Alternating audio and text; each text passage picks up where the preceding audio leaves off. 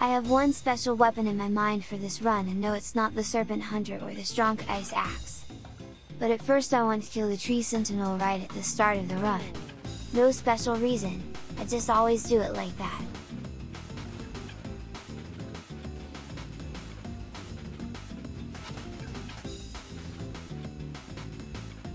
Now that he's gone I will explain my master plan. My weapon of choice will be the Bloodhound's Fang and yeah I know what you're thinking. A level 1 character can't wield it cause of the missing stats blah blah blah, but don't worry I will show you that it's very possible with a bit of work. Using the weapon will get easier the longer the run goes on but it's also possible in the early game. To be able to wield the Bloodhound's Fang in the early game you will need to get the Radagon Soreseal and the Wondrous Physick Flask combined with the Strength and Dexterity tears and voila!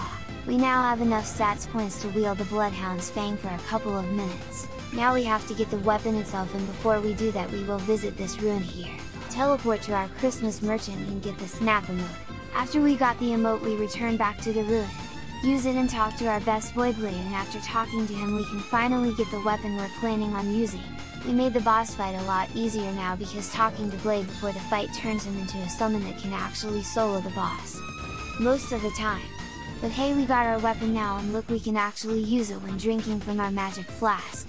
I will upgrade it first so before challenging Margit, because I need to do as much damage as possible, since without more talisman slots we're on a timer and I don't want to risk losing any boss fights, because my timer ran out.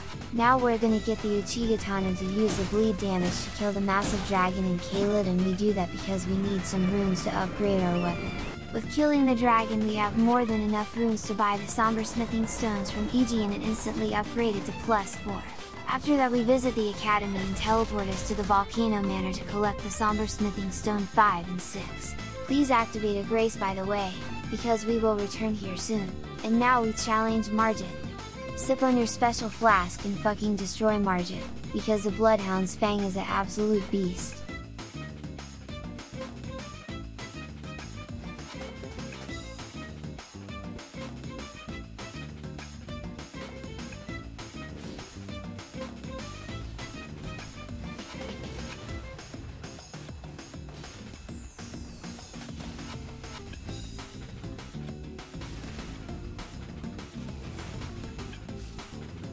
Now with Margit defeated we'll work on further upgrading this baby. Talk to Gostoc and let him open the main gate and kill him after to get his bell bearing. I'm preparing for the first actual difficult fight and it will be the Godskin Noble and that's why we're buying the Buckler now. And after a couple of deaths against the Noble I got the almost perfect strat against him. Step 1, Juice up. Step 2, run directly at him because that will make him do his poke attack most of the time and this one special attack is really easy to parry. Step 3, riposte and use the weapon art after.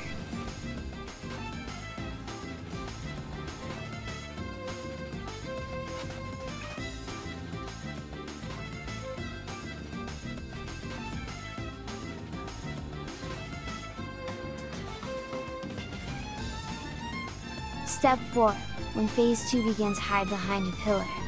And fucking pray. Final step, repeat and win.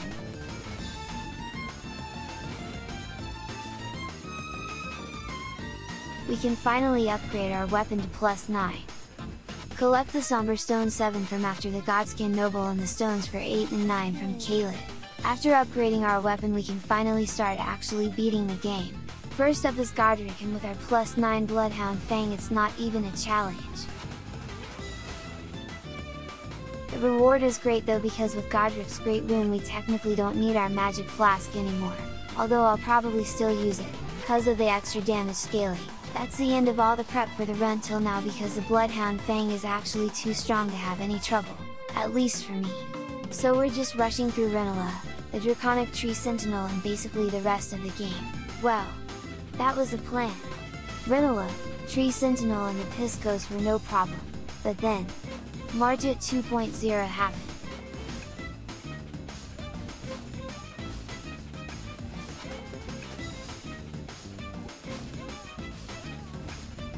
Well let's say after a couple of death I was pissed and decided to get a little bit of extra damage with the Ritual Sword Talisman and let's say, it worked.